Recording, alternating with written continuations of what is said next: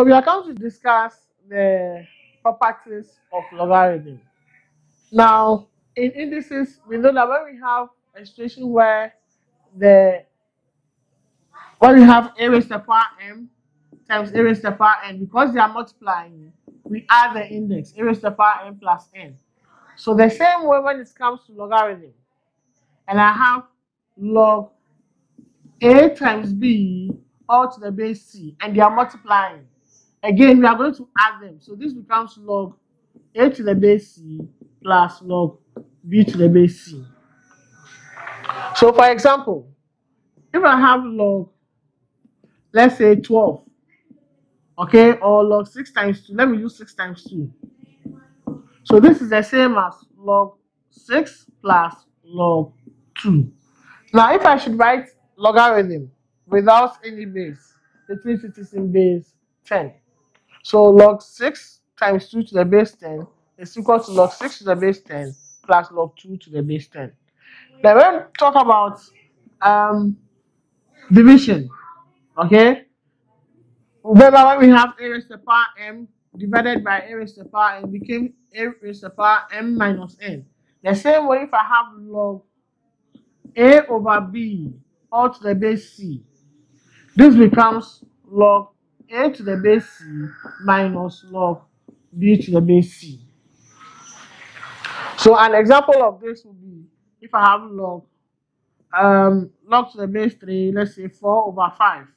This becomes log 4 to the base 3 minus log 5 to the base 3. Now the third law, the third property says that if I have log a to the index b to the base c, the a has an index, okay? Now this becomes b log a to the base c. It comes to multiply the log of what? ac, a to the base c. So an example is if I have log 8 to the base 2, I can write this as log 2 raised to the power 3 to the base 2. Okay? Because 2 raised to the power 3 is 8, which becomes 3 log 2 to the base 2.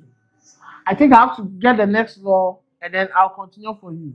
In the next law, we say log a to the base a is equal to 1. So if I have log 5 to the base 5, this is equal to 1. Log 6 to the base 6 equals to 1. Why? Because what power do I have to raise 5 to get 5? It's 1. Okay? 5 raised to the power 1 is 5. a raised to the power 1 is a.